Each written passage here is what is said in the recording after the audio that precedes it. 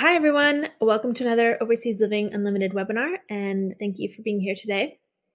My name is Sophia. I'm the editorial director at Live and Invest Overseas, and we have with us once again, I think for the third or fourth time, maybe fifth time, we've got Sasha Savinov, who um, will be speaking with us today about Oaxaca. So thank you, Sasha, for being here.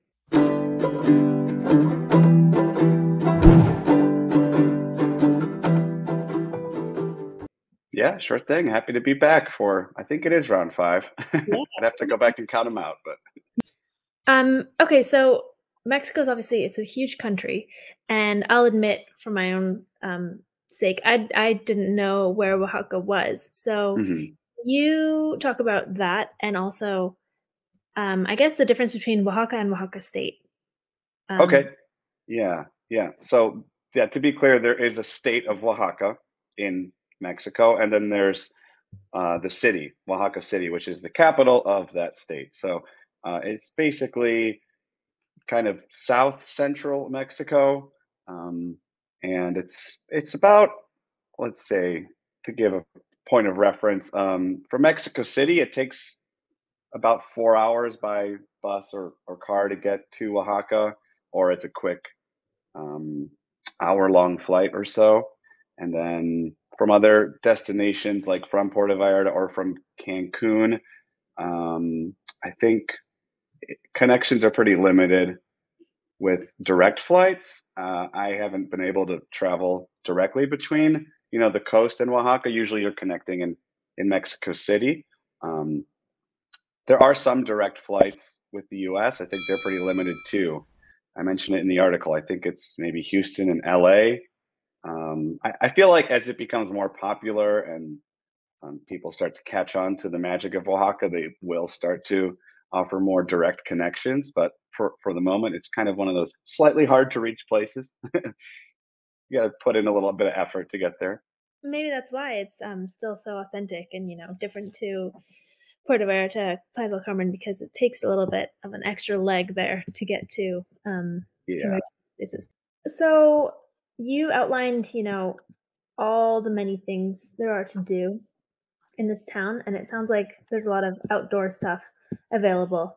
So, what would you say, um, you know, a typical day in Oaxaca, what would you get up to, or what are the things that are on offer there for people to get into if they're if they're interested?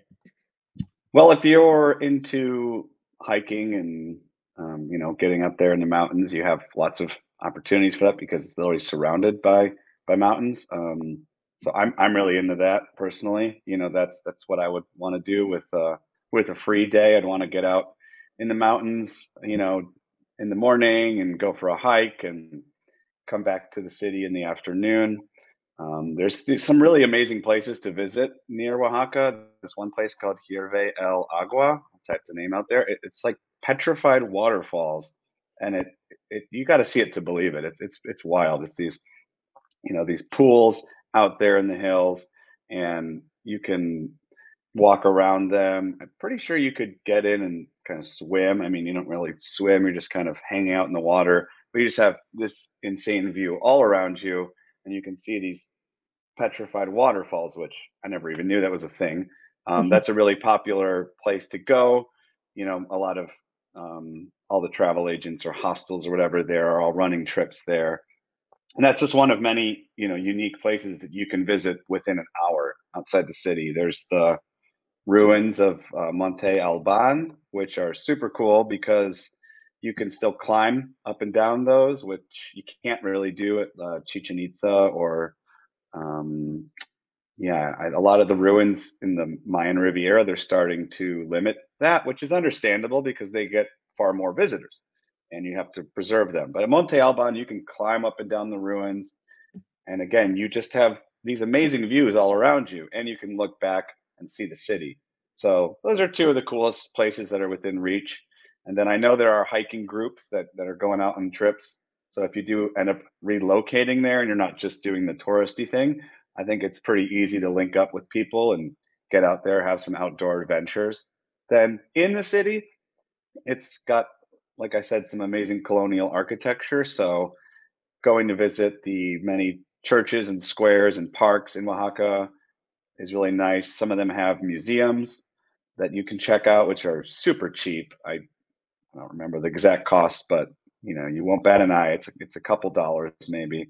Um, so that's a lot of fun. It's also a very artistic place. So if you're into the arts and these indigenous handicrafts and stuff like that, there's lots of galleries and markets you can peruse.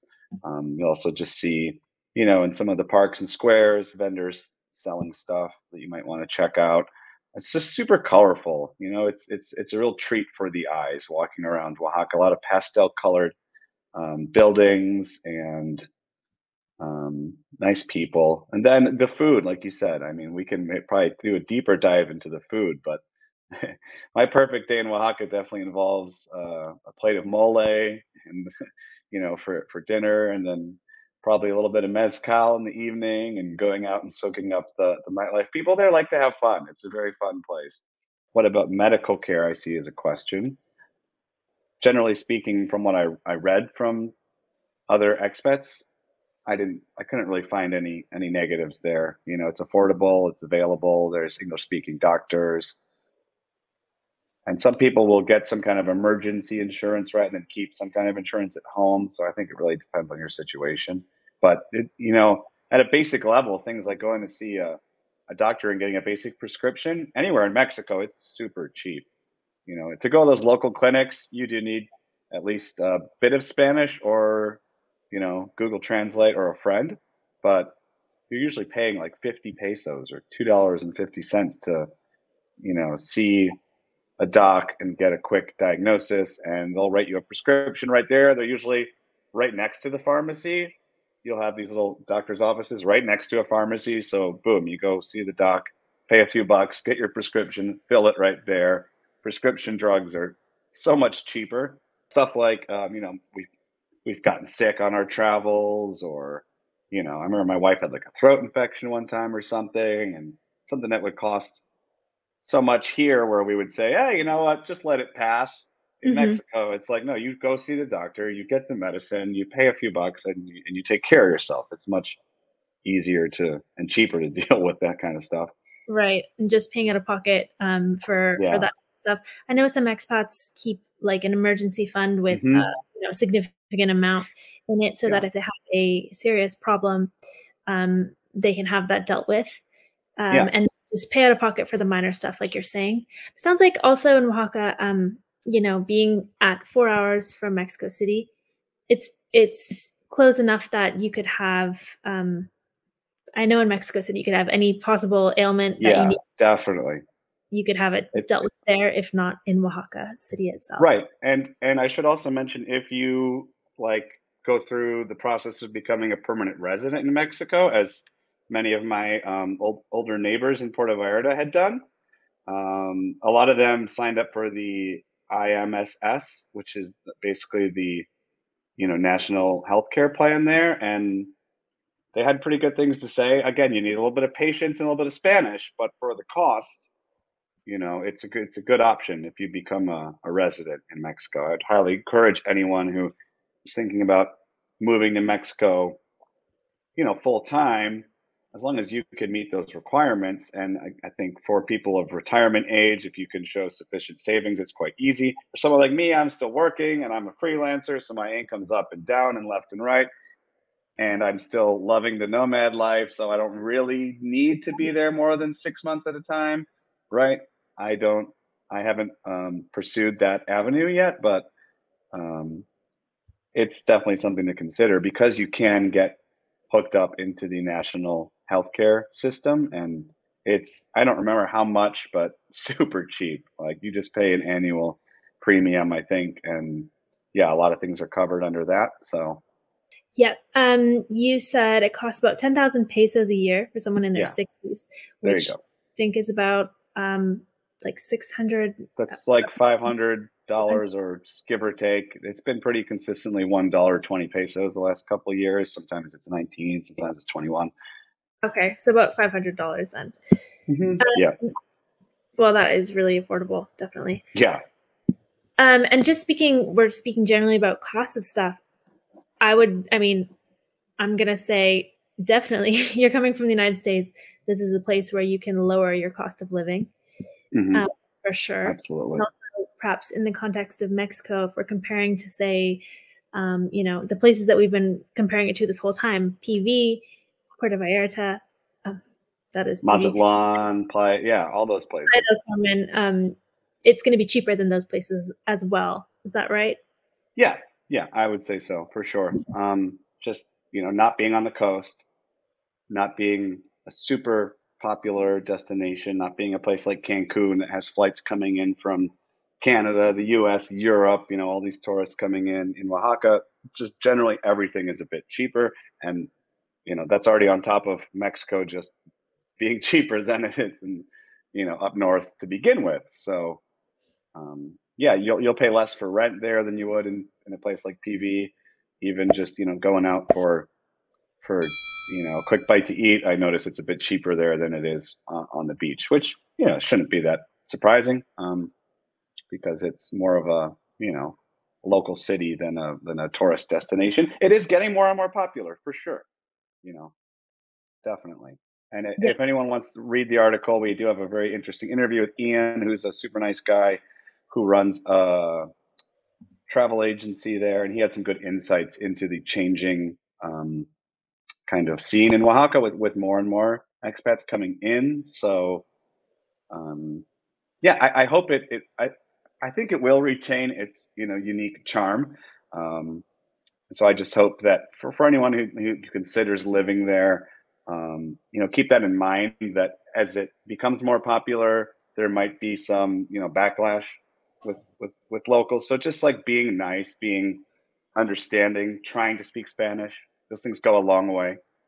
You know, like I said, people are real patient with you if you're, you know, a gringo trying to speak Spanish because a lot of them are also not using their native tongue. So it's kind of, yeah, I, I felt like it. It's it's not that hard to get around if if you speak a decent amount of Spanish. Some people try to speak a little bit of English, so you give meet, and take.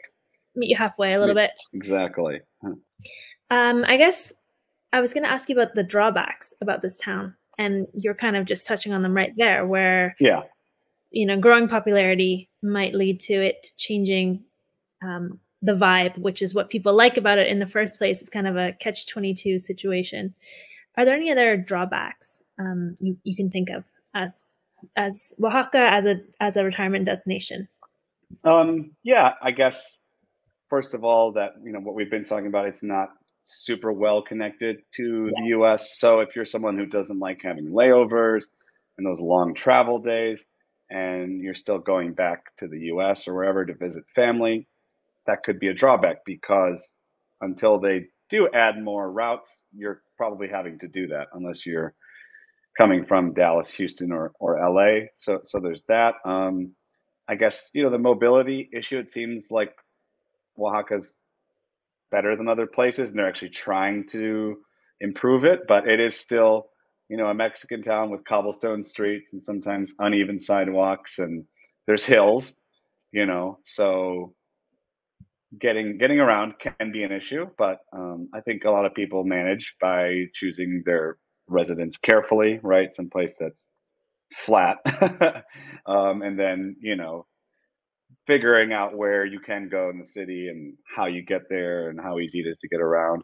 Um, for some people, they might like the fact that there's not a whole lot going on, right? Like, like I said, it's not a big city, even though it's the capital city of the state of Oaxaca. So for me, that's kind of like a drawback that I love, like big city energy. I lived in Beijing before. Tokyo is probably my favorite city ever. I go to Chicago as often as I can. Um, so, you know, compared to like Mexico City or Guadalajara, there's not nearly as much going on in Oaxaca as far as cultural offerings and such. Um, but there is plenty to do. You, you, I don't think you'll have a problem like being bored there. you know, it's a vibrant town, um, especially if you're into the great outdoors and the arts, um, and just, I mean, just eating. Geez, like, um, I was gonna say, I, I don't know, maybe if you're if you're someone who's looking for yeah more like diversity of options for going out to eat and drink, you're not gonna quite find them in, in Oaxaca like you would in PV or Playa. You know, um, I really stuck to the markets, the street food, the mezcal bars personally, because I was trying to get the local flavor. But you know, if I stayed there a longer term and I wanted like a decent pasta dinner or like some Indian curry, I don't really know how easy it is to find, you know, stuff like that at the moment. Um, so that might be a drawback if you're not really that into mole and mezcal. but I think those things are awesome. I even want to like make T-shirts that say mole and mezcal. you should do it. Well, I got one that says tacos and tequila already, so I might as well, you know. Yeah, exactly. and um, for anyone who doesn't know, um, what what is it? All uh, mezcal is tequila, but not all tequila is mezcal, something like that. I might have mixed it up. tequila is only made from blue agave plants. Mezcal can be made from any kind uh, or ver- various kinds of agave, so it has different taste. Um, but if you're going to Oaxaca, you're going to have to try it. So yeah, you'll learn all about you it. Realize, you'll realize soon enough. There's lots of good places to go out and try it. Like I said, it's a fun town. Um, there's uh, lots of cool places to go out at night, grab a drink, see some music, meet people, it's, or just hang out in the square. You know, if you've got kids, it's a very family friendly atmosphere in front of the big church. They'll have clowns and people doing balloon animals and kids running around while adults, you know, hang out and chat. And yeah, it's a really cool place. You know, it's it's making me think right now how I should probably start looking at places to stay there in flights if we're really going to go through with this this fall.